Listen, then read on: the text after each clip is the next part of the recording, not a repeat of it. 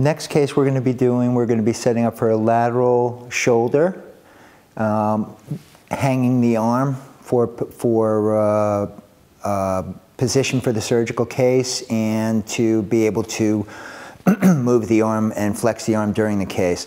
I've removed uh, one section from the foot end to fit her body. I've got a dual articulating headrest uh, so that we can put her in a lateral position safely and we've got uh, nice position for the head and then we'll be putting the arm board on the uh, and the shoulder positioning accessory on the unaffected side. Surgery will be on her, her right arm.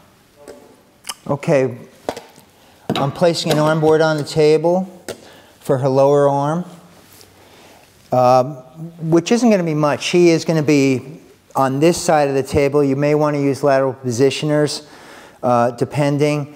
Again, we're going to be working on her right shoulder. We've got her knees protected. We've got a dual articulating headrest, so we've lifted up a little bit slightly, so we've got a nice even plane.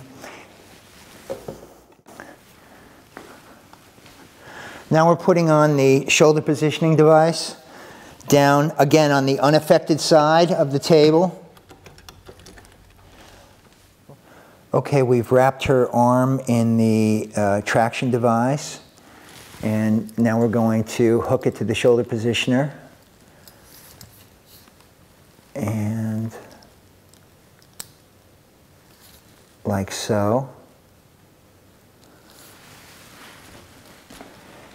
And we can pull traction on the device and release the device via the tension handle here, which is the turning device. So you can pull, pull traction on the shoulder and then you can release traction on the shoulder for repositioning the arm.